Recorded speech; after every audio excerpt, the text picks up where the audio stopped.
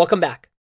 In this video, I want to talk about an important concept in Express, and that is middleware. Let me show you how it works. If I run the server here, I just have a simple server that sends test. Express has a concept of middleware.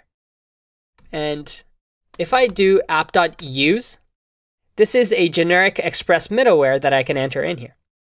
And what middleware does is, as the name suggests, as the request is coming in, it's going to pass through this use function and then trickle down to whatever we get, post, put, delete.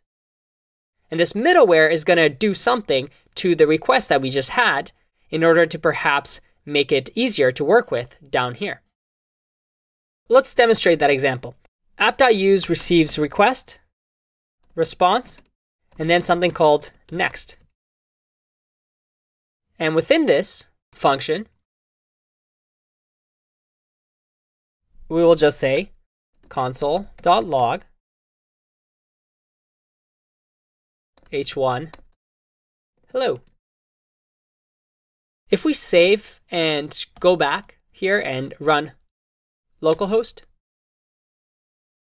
hmm, it's hanging here. Even if I open up the console, nothing's happening.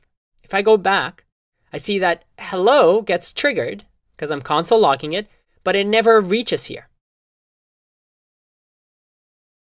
Well, that is because in order for the middleware to keep passing data through, it needs to call next, the third parameter. So now by calling next, if I refresh, I receive test test. So the middleware, the way it works is we use app.use. It gets the requests of the, the website the request comes through, we can do whatever we want with it. In our case, we're not really touching it, we're just console logging hello. And then we hit next, and then Express keeps running through these. And although you might be thinking, why is this useful?